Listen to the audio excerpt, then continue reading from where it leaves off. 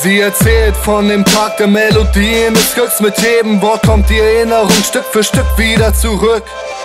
Menschen waren reich, denken noch frei.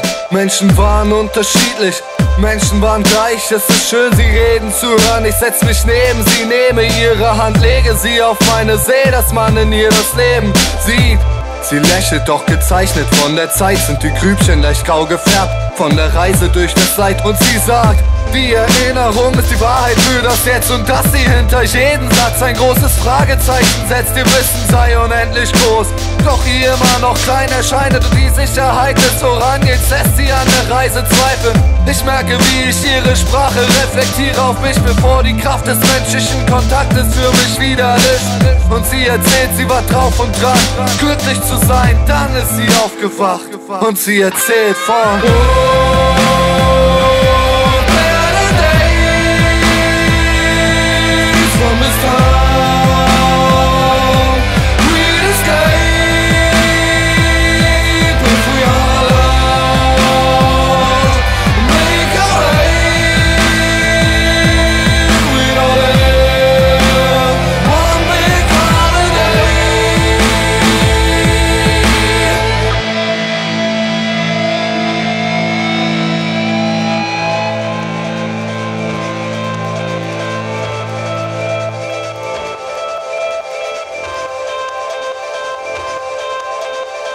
sie erzählt auch von den Menschen, die sie traf dabei.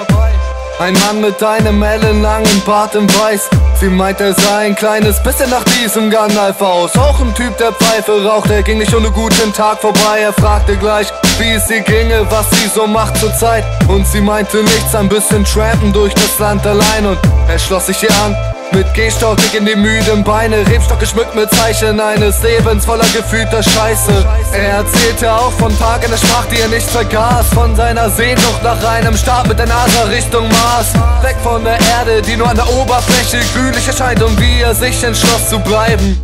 Er fühlt sich daheim, wie er seine Tochter im Arm hielt nach der ersten Sex und wie er seine Frau in seinem Arm hielt nach dem ersten Sex. Er sagt ihr, guck mich runter, guck drauf. Sie glaubt ihm, danach löste er sich in Luft auf und sie erzählt von.